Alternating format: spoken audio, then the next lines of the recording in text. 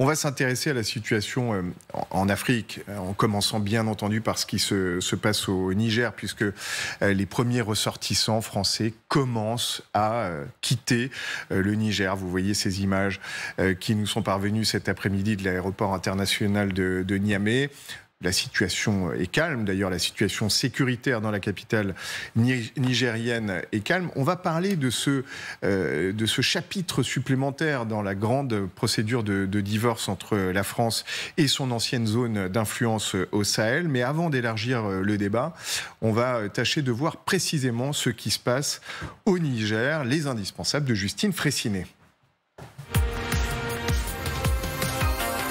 Bonsoir Justine. Bonsoir Emmanuel, bonsoir à tous. Alors, que sait-on précisément de ces opérations d'évacuation que l'on a commencé à voir? Bien, on sait d'abord que 1500 personnes sont concernées, 600 à 700 Français sont officiellement éligibles à l'évacuation, des expatriés pour la plupart, mais aussi des personnes travaillant pour des ONG présentes sur place. Tous ont reçu un mail ou un coup de fil de l'ambassade française au Niger annonçant le début des opérations d'évacuation. L'autre moitié des personnes concernées sont des Européens ainsi que des Suisses, des Canadiens, des Japonais, comme le veulent les partenariats en vigueur dans cette région du monde. Sur le déroulé des opérations ensuite, pour le moment, on sait que l'ambassade de France a donné son feu vert pour l'organisation des premiers départs qui auront lieu depuis l'aéroport de Niamey. Les ressortissants s'y rendent par leurs propres moyens. Effectivement, regardez, un premier groupe de ressortissants est arrivé à l'aéroport de Niamey où un avion A400M est déjà sur place. Dans le même temps, deux avions militaires français A330 comme celui-ci ont décollé depuis la France en direction de la capitale nigérienne avec chacun une capacité de 200 places. Ces trois avions ont pour mission de ramener en France les ressortissants qui le désirent. Les premiers vols à destination de Paris devraient décoller prochainement. Tous atterriront ensuite à l'aéroport de Roissy-Charles de Gaulle. Autre possibilité, si les avions français venaient à manquer de place, l'Italie a d'ores et déjà mis en place des moyens pour évacuer ses ressortissants vers Rome, comme le veut la tradition dans ce genre de situation. Les pays partenaires s'entraident pour l'organisation des évacuations. Combien de temps durera cette opération, Justine? Eh bien, cela dépendra du nombre de personnes qui souhaitent quitter le Niger. Même le Quai d'Orsay ne le sait pas encore à l'heure actuelle, puisqu'on l'a dit, c'est sur la base du volontariat. Selon nos informations, environ 300 personnes se sont déjà présentées à l'aéroport de Niamey, en majorité des familles. Écoutez ce que disait justement Catherine Colonna, la ministre des Affaires étrangères. Elle était sur notre antenne à la mi-journée. Euh, le premier avion est euh, en vol. Il y en aura d'autres vraisemblablement de façon à permettre une rotation. Nous espérons pouvoir faire ça dans les 24 heures. Et comment toutes ces opérations ont-elles été organisées? Eh bien, on sait que la décision a été prise dans la nuit par le président de la République en concertation avec le Quai d'Orsay et l'ambassade de France au Niger et surtout en coopération avec les putschistes nigériens. Écoutez à ce sujet Catherine Colonna. Toujours dans ce cas de situation, et pour la sécurité de nos compatriotes, comme la sécurité des Européens qui, euh, comme eux, voudraient quitter le pays, il faut prendre contact avec les forces sur le terrain de façon à ce que ça se passe le mieux possible. Ces conversations se sont déroulées. Ça ne signifie pas, évidemment, dois-je le dire, une reconnaissance des auteurs du putsch condamnés par l'ensemble de la communauté internationale, condamnés également par les pays de la région. Une fois le feu vert donné par les putschistes, cette cellule de crise a pu faire prévenir les Français présents sur place. Précisons que désormais, nul ne peut quitter le Niger en avion par ses propres moyens, l'espace aérien nigérien étant fermé les putschistes. Les ressortissants étrangers présents sur place n'ont donc d'autre choix que d'utiliser les moyens qui sont mis à disposition par leur gouvernement. Merci beaucoup Justine. Vous ne vous éloignez pas trop puisque vous reviendrez tout à l'heure pour nous parler notamment de Mali, de Burkina, de Sénégal, puisque c'est toute une région qui est concernée. Pour euh, prolonger l'analyse, on a le plaisir d'accueillir Ousmane Ndiaye sur ce plateau, chef du service Afrique de TV5 Monde. Merci infiniment de vous joindre euh, à nous. On, bonsoir. On, parle du Niger, on voit euh, ce qui se passe en ce moment même, hein, puisque euh, on a 300 Français, semble-t-il, qui sont euh, à l'aéroport, qui vont commencer à être, rapatriés. Ça se fait d'ailleurs dans, dans, le calme. On entend Catherine Colonna qui dit bien sûr, il a fallu discuter avec la junte pour organiser ce départ, mais ce n'est pas une façon de reconnaître la junte. Et pourtant, ça en donne l'impression. Qu'est-ce que vous en pensez? En fait, il y a une contradiction qui est quasi intenable. Mmh. Euh, la communauté internationale dit nous ne reconnaissons que le président Mohamed Bazoum. Ça a été acté par la, par la réunion de l'organe régional, la CDAO. Mais en même temps, pour des raisons de pragmatisme, de réalisme, de fait, cette communauté internationale est obligée d'entamer une médiation. Donc on envoie un médiateur. Le président Mohamed Déby y est allé, donc c'est une forme de reconnaissance. Et quand il y est allé, la première personne à rencontrer, euh, à rencontrer, c'était le chef de la junte. En réalité, ce qui se passe, c'est que les putschistes ont la réalité du pouvoir. Ils tiennent le pays, ils tiennent les institutions. L'armée, euh, bien sûr. Ils tiennent l'armée, même les institutions, parce que les, les putschistes ont convoqué tous les secrétaires généraux des ministères, ils ont pris possession des ministères. Donc le coup d'État est une réalité quotidienne. Par contre, la réalité diplomatique et institutionnelle, c'est qu'on continue de reconnaître le président Mohamed Bazoum. Donc, c'est un jeu de tango, hmm. de pas de danse. On voit euh, Mohamed Bazoum avec euh, Déby, euh, photo qui nous est parvenue hier. Donc, il est là, a priori, le président tchadien pour. Alors, ils ont l'air très en forme. En tout cas, pour un président déposé, il a l'air extrêmement en forme. Depuis 24 heures, aucune nouvelle du président démocratiquement élu, comme s'il était inéluctable que la junte prenne en effet le, pouvoir. Bah, de toute façon, de fait, il est pris en otage. Cette communication, ne nous, enfin, faut pas, faut, pas se leurrer. C'est cette photo filtre parce que la junte a bien voulu le faire. C'est-à-dire aujourd'hui, l'assurance tout risque des putschistes, c'est le président Mohamed Bazoum. Il faut expliquer une chose au Niger, le, palais présidentiel est assez particulier. Parce que, par le passé, les chefs d'État ont eu peur d'avoir des putschs. Le palais est installé, construit à l'intérieur d'une base militaire. Il faut entrer dans la base militaire avant d'aller au palais. Paradoxalement, ce sont les militaires de cette base-là qui tiennent le président Mohamed Bazoum. Et d'ailleurs, ça c'est très important. Le général. Euh, le général Tchani, c'est très important, la garde présidentielle, parce que ça rend toute opération très compliqué parce qu'il faut prendre la base militaire d'abord avant de prendre le palais. C'est pas comme en 2011 où les Français ont, avec l'opération Licorne, ils ont défoncé, enfin, ils ont foncé sur le palais parce que le palais est, visible. Il y a pas, voilà, en termes opérationnels, c'est très compliqué euh, si une opération militaire est envisagée. Alors, si on vous entend bien, euh, c'est fait. La junte ne va pas sortir du, palais présidentiel facilement. Le sort euh, du, président de Bazoum est, réglé. Que peuvent faire les Français là? Enfin, réglé dans le, dans le, sens où, a priori, ils ne devraient pas retrouver le, le pouvoir. On a vu que la rue s'est quand même largement manifester euh, pour les putschistes contre la France. Que peuvent faire les Français? Je pense que tout n'est pas joué. Parce que la, particularité de ce putsch, contrairement aux autres putschs qu'on a connus en deux ans, le Mali, euh, le Burkina euh, et, la Guinée, la réaction de la communauté internationale, elle est plus nette, plus ferme, plus claire. C'est nous ne reconnaîtrons pas les putschistes. Mais ça C'est inédit. C'est inédit parce que sur le Mali, la réaction à l'époque du ministre français des étrangères, Le Drian et de l'Élysée, c'était pas la même chose. Nous condamnons le putsch, mais on vous accompagne vers une transition. C'est après que les choses se sont gâtées. Mais la première réaction, c'était celle-là. Mm. La réaction aussi en Guinée, au Burkina, c'est la même chose. Là, c'est inédit. On a à la fois les Américains et les Français qui sont sur une même position. Il faut noter que les Américains, d'habitude, ils ne se mêlent pas des putschs en Afrique. Là, ils se mêlent quand même. Euh, le secrétaire d'État a appelé en personne le président Mohamed Bazoum parce que le Niger a une particularité par rapport aux autres pays du Sahel. C'est un lieu de présence militaire très fort. Mmh. Au Mali, les Français étaient en face à face, étaient en huis clos avec les Maliens. Là, ce n'est pas le cas. Les Américains ont autant à perdre du point de vue stratégique que les Français. Oui, alors est-ce que ça n'aggrave pas la, situation qu'il y ait des interventions euh, de, Petite question, et puis on va étendre le, débat que euh, le président Macron réunisse un conseil de sécurité pendant le week-end, que effectivement les États-Unis euh, interviennent, est-ce que ça ne cristallise pas un sentiment anti-occidental dans, dans, la rue notamment? Non, moi je pense que ce que ça veut dire, c'est que les Occidentaux ne peuvent pas se permettre d'avoir une sorte d'humiliation sur le Niger. Parce qu'il ne faut pas se leurrer, si les putschistes prennent et, gagnent cette manche, qu'est-ce qui va se passer? Le scénario de l'humiliation est fort probable. Hmm. Le scénario du basculement vers le camp russe est fort probable. Et on va en parler longuement. Imaginons tout simplement la plus grande base des États-Unis au Sahel, euh, partir euh, et puis être pris par Wagner du point de vue symbolique. Hmm. Est-ce que les États-Unis peuvent accepter ça? Je ne pense pas. Alors, Général Gomard, ancien chef du renseignement militaire, vous connaissez par cœur cette, euh, cette zone. Il se trouve que c'est la plus grande base française euh, à côté de, Niamey, 1500 hommes euh, en ce moment. Est-ce que inéluctablement il va falloir que les soldats français fassent comme ils ont fait au Mali, comme ils ont fait au Burkina, c'est-à-dire qu'ils partent au bout d'un moment? C'est la grande question. Hmm. Alors, Catherine Colonna a dit qu'il n'en était pas question à l'heure où elle parle, où elle s'exprimait aujourd'hui.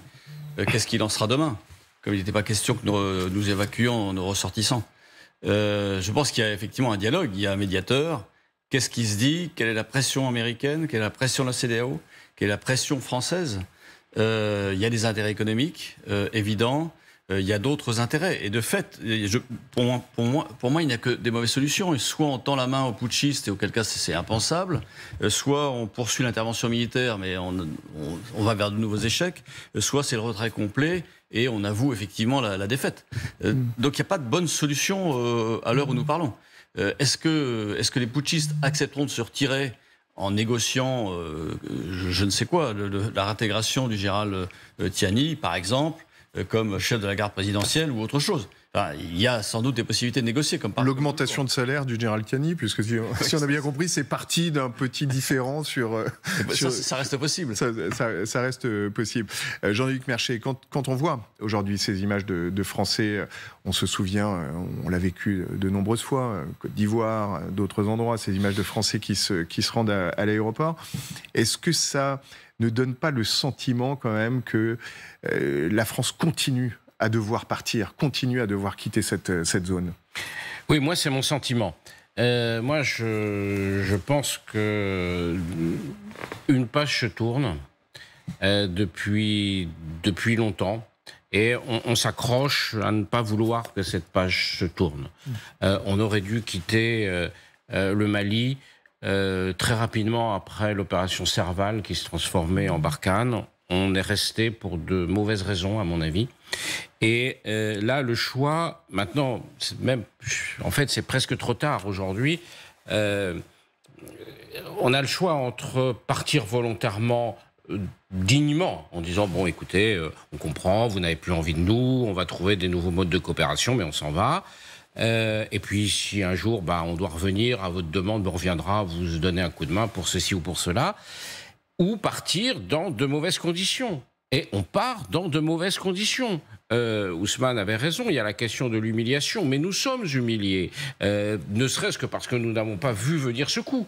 Euh, et que euh, l'humiliation, elle est là déjà. Euh, on est obligé d'envoyer des avions de l'armée de l'air pour évacuer de ressortissants du Niger. Le Niger, c'était le dernier, le dernier endroit où on était présent dans la région. Alors il y a le Tchad, à côté, mais le Tchad, le, modèle, tchadien est, moins présentable parce que le Niger avait l'avantage d'être à peu près démocratique. Bon, enfin démocratique. donc effectivement, on est dans une situation où il faut partir, il faut tourner la page. Pourquoi hmm. Peut-être que, après tout, pourquoi sommes-nous encore là-bas? Euh, Et il y a eu ce débat au sein du pouvoir exécutif français à la fin de l'année dernière, savoir, y compris au cœur de l'Élysée, savoir s'il fallait fermer les bases militaires françaises en Afrique ou les maintenir. Les deux tendances se sont, se hmm. sont été le, le, choix final du président Macron a été de dire bon, on va, on va les maintenir en les réduisant. Donc c'est un non-choix en réalité. Euh, et euh, on est dans, dans, cette continuité. On va partir de l'Afrique, clairement. On élargira la focale dans, dans, quelques instants. Restons juste un instant sur, euh, sur le Niger. Euh, et là, je me tourne vers notre docteur en, géographie. pourquoi euh, la France a intérêt à rester? Prenons-le peut-être autrement. Il y a évidemment une présence militaire dans une zone stratégique. Puis il y a des ressources. On en parle beaucoup depuis, depuis hier. Il y, a, il y a des mines d'uranium qui sont, pour en tout cas l'une d'entre elles, exploitées par la France. Oui, c'est souvent présenté comme ça, la question des, ressources concernant le, Niger, l'uranium, pour faire tourner les, les centrales. Et on connaît l'importance des centrales nucléaires dans notre mix énergétique euh, français depuis 50 ans au moins. Euh, il faut quand même bien voir, à côté de l'uranium, et j'y reviendrai après, euh, surtout une perception, on parlait de géographie, Emmanuel, surtout une perception de la puissance. Et Jean-Dominique Merchet dit on a du mal à tourner la page, on s'arrête sur la page, quitte à la déchirer, pour filer la, métaphore. C'est la question de la puissance. On, on est dans une logique post-coloniale, de, comme pour les grands espaces maritimes, à essayer tout le temps de se bagarrer avec les représentations que nous avons nous-mêmes de la puissance. Et donc en cela, il y a bien un chapitre africain, il y a bien un chapitre sahélien, où il y a la place du Niger et d'autres pays euh, frontaliers. Donc c'est avant l'uranium, avant des questions diplomatiques bilatérales, avant des questions sécuritaires, etc., qui ont leur voix au chapitre aussi, pour des questions de islamisation et terrorisme dans l'ensemble régional, voire africain, il y a une question de représentation de la puissance, puissance dans le concert des nations. Et le fait d'avoir euh, une présence polymorphe en Afrique fait appel à notre histoire euh, moderne, sinon contemporaine, et à cette projection de puissance. Je reviens maintenant à l'uranium. Quand on regarde la, décennie qui vient de s'écouler, on a, même un peu plus, une diversification nécessaire dans les sources d'approvisionnement euh, en uranium, à partir d'une grande entreprise française que tout le monde connaît, qui est dans le traitement de ce produit, dans l'exploitation de, ce produit-là.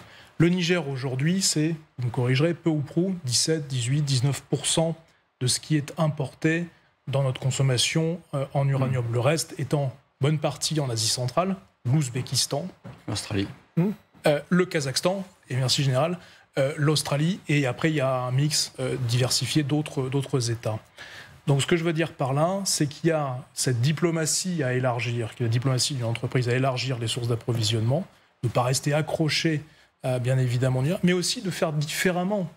On peut très bien avoir une présence d'Orano, pour ne pas la citer, l'entreprise Exareva, au Niger, sans avoir un degré d'exposition qui nous amène à la situation que l'on connaît depuis 72 heures. Ça, effectivement, c'est une grande question qu'on va se poser dans, dans 5 minutes, mais je me tourne vers, vers, vers Vera Grandseva, parce que euh, le grand concurrent de la France depuis toujours sur euh, les mines d'uranium notamment, et c'est le cas avec le Kazakhstan, c'est la Russie. Or, est-ce que le fruit, mûr, le fruit mûr va tomber? Alors, soit dans la poche de, de Prigogine, on a beaucoup parlé de lui euh, tout à l'heure, soit, disons, de la Russie au, au, sens large.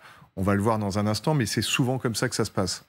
Oui, effectivement, c'est une belle opportunité pour le régime de Poutine pour prendre contrôle de ce pays. Ils ont pris déjà le contrôle de Mali, de la République de l'Afrique centrale. Donc c'est une belle opportunité pour euh, euh, deux buts politiques, à mon avis. Tout d'abord, de présenter quand même leur influence dans l'Afrique, montrer qu'ils contrôlent euh, moitié, de l'Afrique, ou bon, pas moitié, mais autant qu'ils peuvent.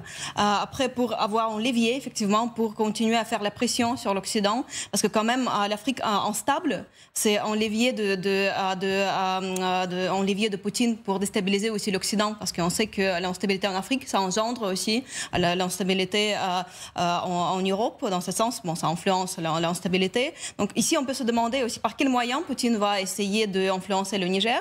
Euh, le groupe de Wagner n'était pas présent pour l'instant là-bas, mais euh, les campagnes de désinformation ont été menées déjà. Donc, euh, comme d'habitude, il y aura deux outils à utiliser, c'est le groupe de Wagner, les mercenaires, qui euh, d'habitude font la garde prétorienne d'un euh, dictateur ou d'un chef d'État local et qui en même temps euh, font de la prédation de ressources en fait qui en tirent de, l'argent pour financer leur activité. et après il y a bien sûr la, tout, tout, le système de l'influence informationnelle. Ça veut dire organiser des élections, faire des, des, observateurs. Comme en Centrafrique d'ailleurs, pendant le week-end, il y a un référendum qui a été organisé sous l'égide de Wagner. Et ici, à mon avis, le pouvoir de Poutine est un peu fragilisé quand même parce que le groupe de Wagner, comme on sait, il est en, il est en train d'être réformé. Et je sais que, par mm. exemple, les, les camarades de Prigogine en Afrique se sont tournés de lui. Ça veut dire qu'Alexandre Malkevich, qui était responsable détourné de lui, détourné de lui, pardon, mm. détourné de lui, euh, Alexandre Malkevich, qui était responsable pour l'Afrique, il a, il a condamné Prigogine et il s'est séparé de lui. Donc, comment vont être organisées les campagnes d'information, de, des élections? Ça, c'est aussi une question. Alors, on va élargir à la situation régionale parce que, bien entendu, le Niger, et, et là, vous allez pouvoir nous éclairer, Ousmane, bien, bien, sûr. Le, ce putsch au Niger arrive après des années de putsch, hein, puisqu'on a eu le Mali, le Burkina Faso, avec deux putschs d'ailleurs à, chaque fois dans, dans ces pays. Et sans surprise, d'ailleurs, après la condamnation de la CDAO, vous en parliez tout à l'heure, le Mali et le Burkina, et d'ailleurs la Guinée, sont entrés dans le concert et ont dit attention, ne touchez pas au Niger et nous sommes prêts à intervenir. Alors avant de, d'écouter vos, analyses, euh, Justine Fressinet revient euh, avec nous puisque on le voit bien Justine, hein, il y a deux camps qui sont, euh, qui sont formés. Avec la musique, c'est encore mieux, bien entendu. Deux camps qui sont formés. Niamey est clairement dans, dans l'un d'entre eux, avec à ses côtés ces deux alliés qui sont des alliés très clairs et très objectifs. Oui, effectivement, il s'agit du Burkina Faso et du Mali. Deux pays voisins, également dirigés par des putschistes depuis un peu plus d'un an, qui prennent fait et cause pour le coup d'État au Niger. Hier soir, les deux porte-paroles des deux juntes militaires, burkinabés et maliennes, ont lu le même communiqué pour dire deux choses. D'abord, qu'ils sont solidaires des putschistes nigériens, et ensuite qu'ils les défendront si une intervention était lancée pour les déloger. Écoutez-les. Le gouvernement de transition du Burkina Faso et du Mali avertissent que toute intervention militaire contre le Niger s'assimilerait à une déclaration de guerre contre le Burkina Faso et le Mali. Toute intervention militaire contre le Niger entraînerait un retrait du Burkina Faso et du Mali de la CEDEAO ainsi que l'adoption de mesures de légitime défense en soutien aux forces armées et au peuple du Niger.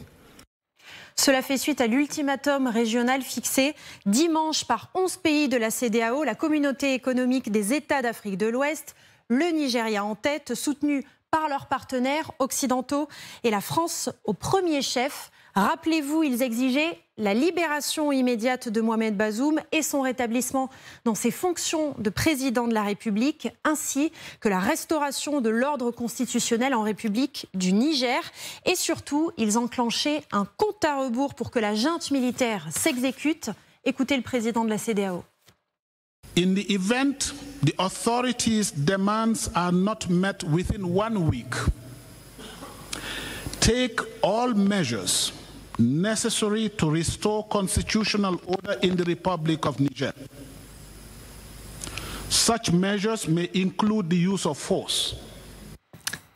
Voilà pour la CDAO. La France, maintenant.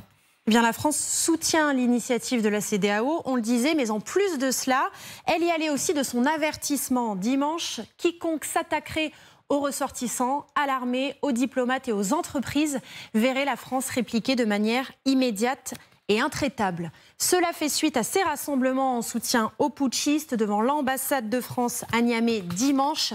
Certains manifestants ont voulu briser les vitres pour entrer dans le bâtiment. D'autres ont tenté d'arracher la plaque affichant Ambassade de France au Niger, de décrocher le drapeau français pour le remplacer par les drapeaux nigériens et russes. Sur les pancartes, dégage la France, la France tue au Niger.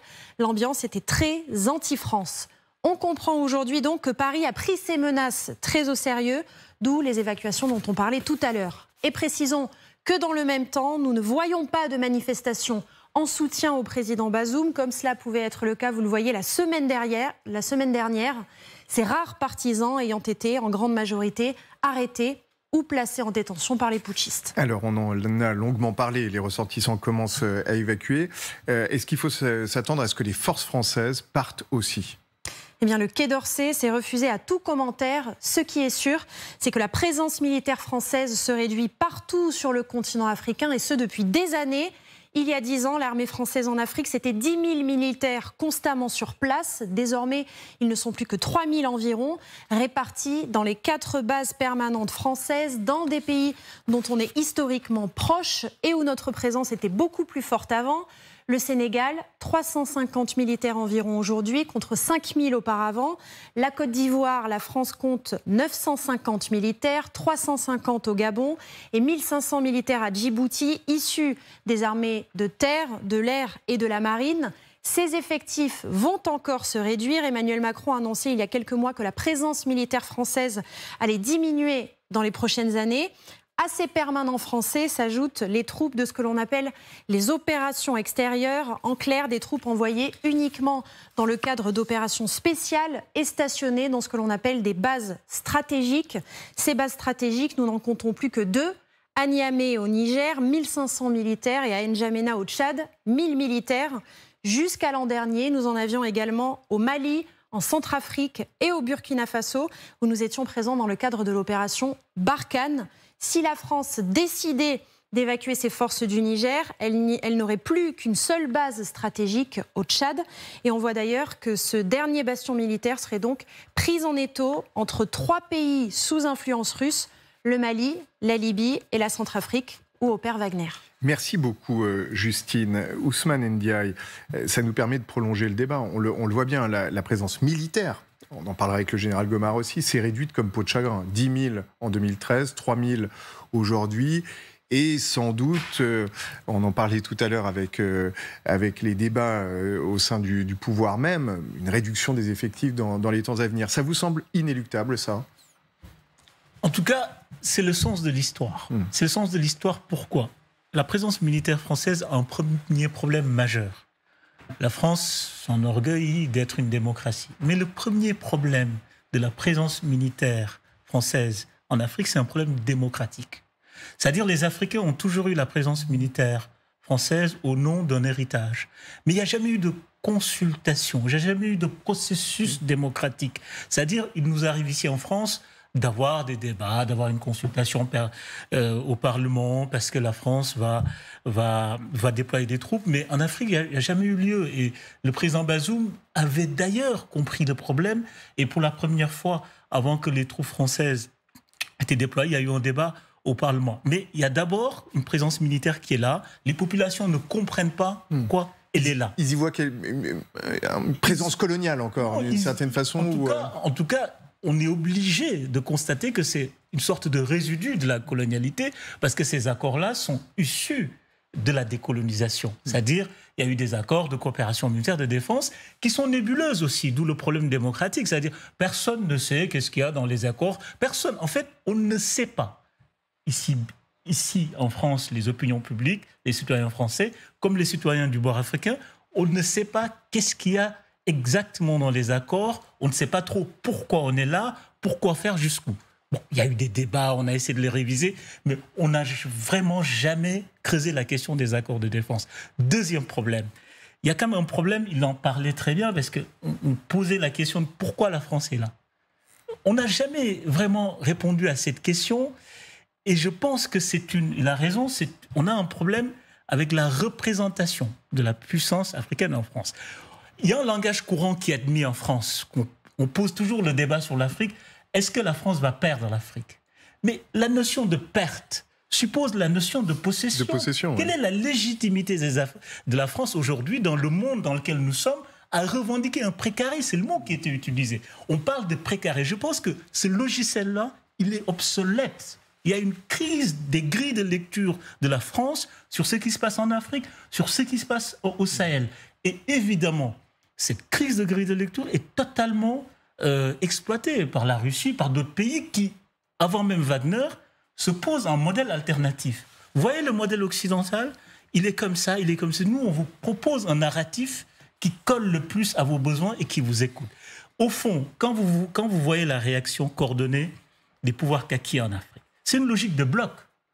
Paradoxalement, on pensait avec la chute du mur de Berlin, les conférences nationales, la vague de démocratisation en Afrique, avoir dépassé cette logique des blocs en Afrique où il faut choisir son bloc. Est-ce qu'on est avec le bloc occidental, avec la démocratie libérale, ou est-ce qu'on est dans le bloc de l'Union soviétique, etc. Hmm. Aujourd'hui, la révolution, la Kalachnikov, la décolonisation. Aujourd'hui, c'est la même question qui se pose aux Africains. Est-ce que vous voulez du modèle poutinien, chinois, turc, ou est-ce que vous êtes plutôt pour le modèle de la démocratie libérale à l'occidental. C'est un retour de l'histoire, c'est un retour en arrière qui est surprenant et je ne pense pas que les Occidentaux, en tout cas le camp de la démocratie libérale, puisse gagner si la grille de lecture n'évolue pas, si la grille de lecture ne change pas. Alors c'est passionnant, Gérald Gomard, parce que euh, c'est aussi euh, une voix qui monte beaucoup, notamment dans le monde de la diplomatie, avec des gens comme Gérard Haro, qui est un poids lourd, hein, ancien ambassadeur euh, à Washington, qui dit il fallait partir militairement depuis longtemps, parce que c'est le meilleur moyen de rester harmonieusement dans, dans, ces pays où il y a une présence française très importante. Alors la France n'a pas toujours été aussi présente en Afrique. Les bases permanentes que l'on a vues sur, sur la carte présentée par Justine, oui, on y est resté, mais on y est, euh, alors, dans le cadre d'accords de défense euh, dont parlait Ousmane, mais euh, accord de défense, c'est la demande des gouvernements. Et en dépit des successions des différents gouvernements, la France est restée. En réduisant d'ailleurs sa présence, puisqu'il y avait des effectifs plus ou moins, plus ou moins larges. au Niger, on n'y était plus. On est revenu dans le cadre de l'opération Serval puis Barkhane. Mm. alors on, avait toujours eu, on a toujours eu des coopérants, c'est-à-dire des gens qui étaient là pour aider la formation, pour envoyer des, des Nigériens, des Maliens, des Tchadiens en formation en France et les aider sur place, effectivement, à développer leur propre savoir-faire, leur propre armée. Euh, il faut quand même noter les, succès, euh, dire, tactiques de, de, l'armée française euh, au sol. Alors certes, on est accusé, enfin la France est accusée de ne pas avoir éradiqué le, j'allais dire, le terrorisme islamique. Mais on nous accuse de ça. Mais en fait, euh, on s'appuie sur des pays qui n'ont pas fait non plus tout le, job qu'ils auraient dû faire. Alors on l'a peut-être pas fait suffisamment en intégrant peut-être suffisamment les armées locales, mais euh, moi-même ayant été sur place à de nombreuses reprises, j'étais toujours avec des homologues nigériens au Niger, maliens au Mali, euh, burkinabés au Burkina. Donc en fait, alors peut-être pas suffisamment, mais en tous les cas, on a toujours cherché les associés. Euh, enfin, de, de, vue de ma place, vue de ma position. Alors, pas d'accord. Moi, je crois que la question, c'est pas de les associer ou pas. Hmm. C'est la logique elle-même qui est contestable. La France n'a pas à se substituer à ce qu'une armée africaine souveraine doit faire. Mais ça ne peut que très mal finir. On a cherché à les faire venir au Mali. On a cherché à être remplacés. Oui, mais on a cherché parce qu'il y a une tradition de gendarmes. Il faut, en fait, non, mais on a cherché à ce que ce soit des Africains qui oui, mais, pourquoi la France intervient? La France intervient parce qu'il y a une tradition d'intervention. La France Alors, Jean-Dominique Merchet, on, posera une autre question euh, ensuite. Jean-Dominique Merchet. Juste un mot. Moi, je trouve que Christophe, euh, on se connaît bien, il vient de dire quelque chose. On a cherché à les associer. La France. Mais ils sont chez eux. Mais ils sont chez eux. on est imagine un moment que les Américains, les Américains. On n'est pas venu là. On n'est pas venu là seul. Oui, enfin. Mais non, on n'est pas venu là seul. Je sais. Oui, Serval. J'étais. Oui, on va pas révéler des secrets ici, mais le, déclenchement de l'opération Serval, la lettre, euh, la lettre du gouvernement malien, putschiste d'ailleurs, euh, appelant l'armée française, elle n'a pas été totalement rédigée euh, à Bamako. Hmm. Bon, euh, euh, on le sait bien, toi, moi, on sait ça. Donc c'est plus complexe que ça. Et ah, on a cherché à les associer, mais tu dis. mais pour qu'ils prennent la place. oui, mais, mais, ils sont chez, eux. Mais attends, ils, n'ont jamais voulu, ils n'ont jamais fait le job. Mais, attendez, les amis. C'est moi, à nous de dire ce qu'ils doivent faire. ça, je suis bien d'accord. Alors. Mais quand même. On n'est pas venu seul. On n'est pas venu. L'ONU nous a demandé de venir. Enfin, je veux dire, on n'est pas venu seul. Alors, on apprend que le stylo, le stylo malien a été tenu par une main sans doute euh, euh, française. Euh, très pragmatiquement, très pragmatiquement. Est-ce que, est que tout ce qui se passe en ce moment, là, je me tourne vers chacun d'entre vous, est mauvais pour la lutte contre Al-Qaïda qui reste dans cette dans cette zone ou pas. Ça, voilà. ça, fait, ça fait pas du bien. Gomard, c'est sûr. on voit bien dans la zone des trois frontières, le terrorisme islamique se développe. Euh, et d'ailleurs, euh, j'allais dire, c'est pas aujourd'hui les armées africaines telles qu'elles sont, en tous les cas au Mali, sont incapables de le faire. Et c'est pas Wagner qui le fera. Et d'ailleurs, c'est l'une des accusations de la population. C'est que comment est-ce qu'on éradique ce terrorisme islamique? Alors, Emmanuel Véron. Trois, choses sur, sur le, le, djihadisme et l'islamisme. L'armée française a fait beaucoup, beaucoup, beaucoup, beaucoup pour euh, éliminer un certain nombre de têtes de djihadistes, de réseaux, etc. Elle a fait énormément. Et je finis ce premier point. Les têtes ont repoussé à chaque fois. Et d'ailleurs, il faut Flores là en ce moment. Voilà, mais deux, derniers points. Euh, en mémoire aux, 58 ou 56 soldats morts 58. en 58 et dizaines de blessés. Ils ont fait beaucoup. L'armée française a fait énormément. Elle a fait énormément de, dispensaires, d'infrastructures, de développement, de médical, d'aide médicale, tropicale, extra-militaire, dans lesquelles l'armée française excelle. Deuxième sujet sur l'islamisme et le djihadisme, c'est qu'une opération militaire de ce style-là, même si le format était très adaptable, très mobile, très agile, ne suffit pas à répondre à quelque chose qui est une tendance de fond démographique. Quand on regarde la démographie du Niger il y a 60 ans, quelques millions. Aujourd'hui, combien? 20, 30, 40 millions. 60, 25, les plus fortes au monde. Hein. Qui explose. Premier sujet. Deuxième sujet, tendance de fond sur le djihadisme et le terrorisme. Le financement infrastructurel, financier par des monarchies du Golfe qui viennent ici abonder dans le sens où on revisite, on recompose une lecture de l'islam plus ou moins euh, classique, historique, dans la partie en particulier sahélienne, de Dakar jusqu'au Soudan, et qui va en front euh, de conquête descendant vers le sud. Je vois ici Burkina, je vois euh, le golfe de Guinée à travers le Nigeria, dont on parle beaucoup, la Côte d'Ivoire, etc. Et troisième sujet, par rapport au, djihadisme, je disais tendance de fond, c'est bien évidemment aux Africains eux-mêmes, si je puis dire, de regarder l'avenir en face. Hmm. Et on le voit bien dans cette logique-là. L'armée française fait beaucoup, les pays sont souverains, les peuples sont souverains, ils ont à ce moment-là la possibilité de regarder l'avenir en face. Je vous laisserai répondre dans un instant, mais je me tourne vers Vera Kantseva parce que la présence euh, russe est de plus en plus importante. Hein, à contrario, on a perdu. Euh, est-ce qu'ils ont une efficacité euh, militaire? Wagner se prévaut de pouvoir balayer Al-Qaïda avec 1000 hommes. Hein. Prigogine a dit ça l'autre jour. En tout cas, bon, je ne vais pas dire qu'ils prennent pied. Ça fait longtemps qu'ils sont là-bas. Ils sont de plus en plus importants.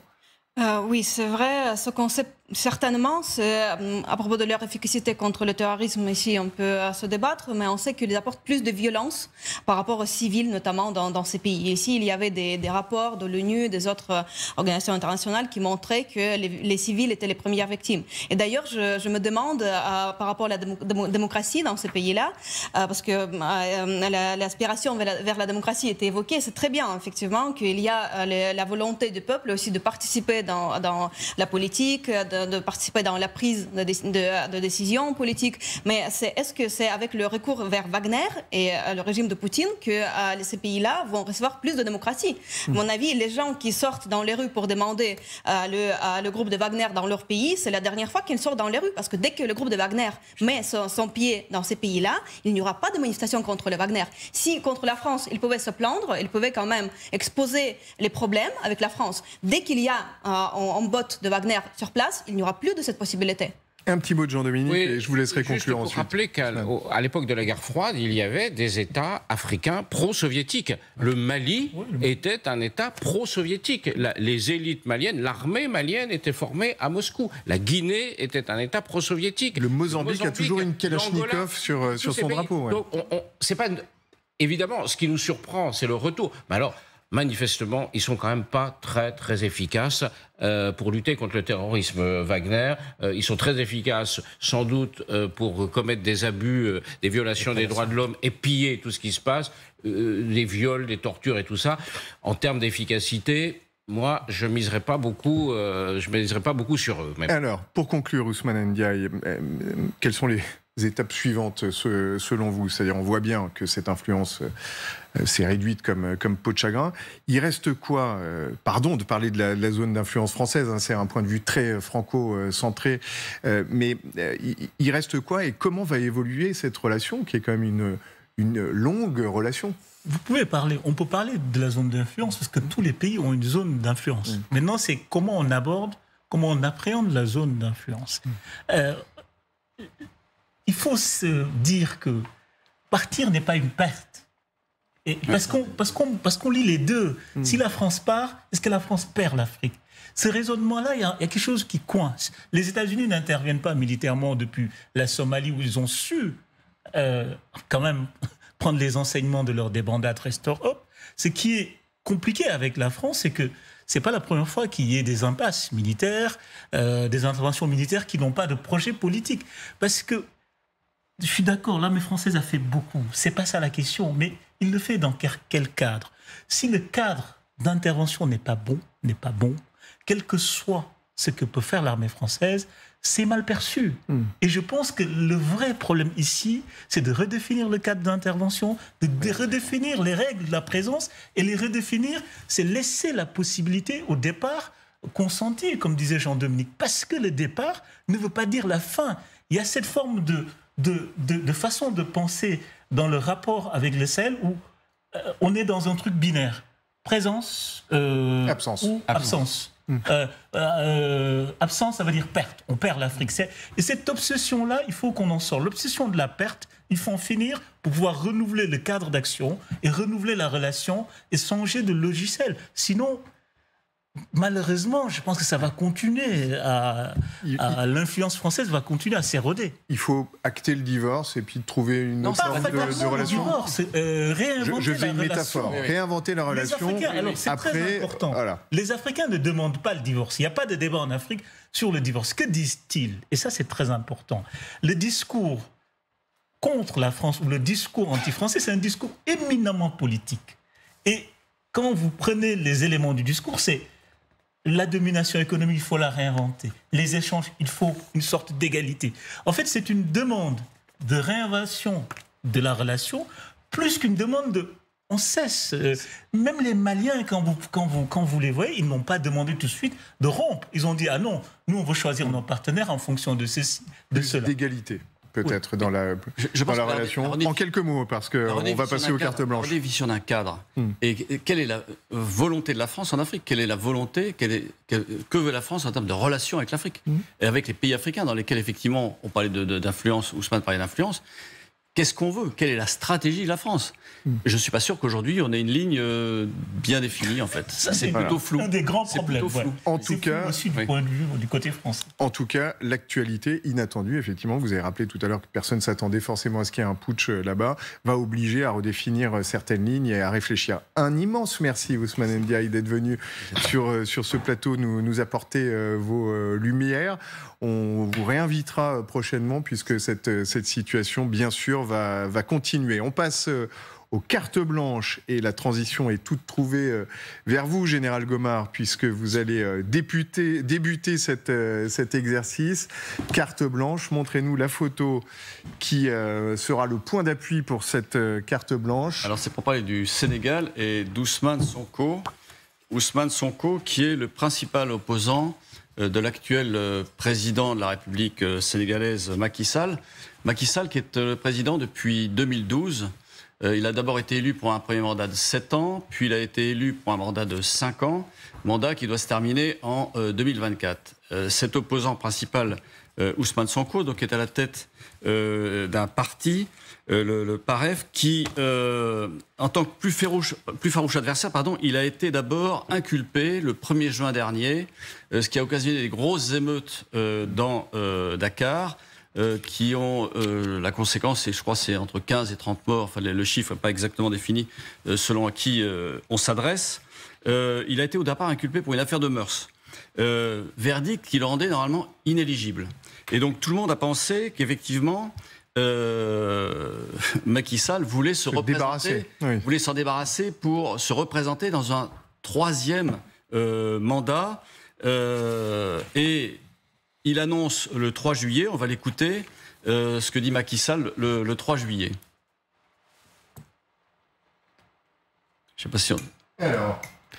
Macky Sall, le temps de, de caler. Voilà, Macky Sall, que disait-il il y a quelques jours, un petit mois Mes chers compatriotes, ma décision, longuement et mûrement réfléchie, est de ne pas être candidat à la prochaine élection du 25 février 2024. Voilà, Comme non. ça, les choses étaient claires. J'allais dire, les tensions qui, euh, qui existaient au Sénégal euh, Pouvaient se sont- redescendre. Se, sont apaisées, en effet. Hmm. Euh, Entre-temps, il avait quand même arrêté un autre euh, membre du, parti, du principal parti d'opposition, un certain euh, Biram Souley Diop, qui était président du groupe parlementaire d'opposition. Euh, et puis, hier, il arrête euh, Ousmane euh, Sonko. Sonko, euh, qui a, ce qui a occasionné de nouvelles effectivement manifestations avec, euh, je crois, trois morts. Et on peut voir des images de cette euh, manifestation euh, dans lesquelles effectivement il y a des barricades, il y a des, des- des- des feux qui sont allumés, etc., etc. Donc la vraie question que les gens se posent, c'est est-ce que Macky Sall finalement ne veut pas euh, dire, euh, comme l'a fait d'ailleurs euh, Ouattara en Côte d'Ivoire, comme il n'y a pas de candidat, il n'y a pas d'autres candidats, bah, en fait, euh, je reviens euh, comme euh, pour terminer, pour faire un, un troisième mandat. Je